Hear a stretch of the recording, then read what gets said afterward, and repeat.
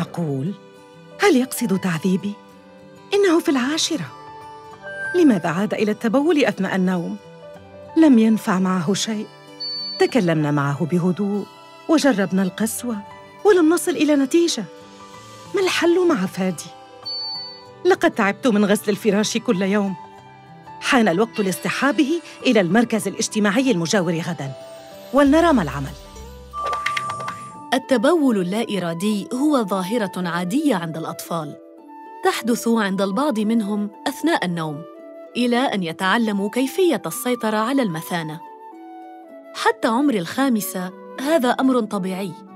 ولكن في مراحل عمرية متقدمة قد يكون ذلك مؤشراً لعوامل نفسية ضاغطة أو عضوية بيولوجية كالسكري، التهاب البول أو مشاكل في المجاري البولية.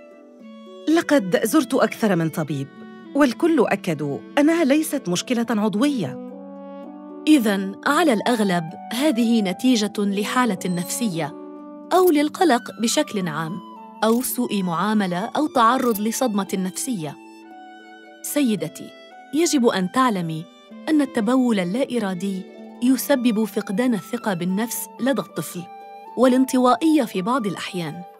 لذا يجب الامتناع عن معاقبة فادي، فهو لا يقصد الإزعاج، لا بل إنه حزين وخجل ويحتاج للدعم.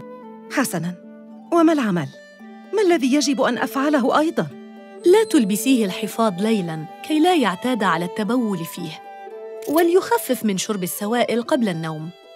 كما يجب إيقاظه للتبول عدة مرات وطبعا عليه متابعة العلاج النفسي هنا حيث يمكنه التكلم عن مشكلته بصراحة دون الشعور بأي إحراج أو ملامة.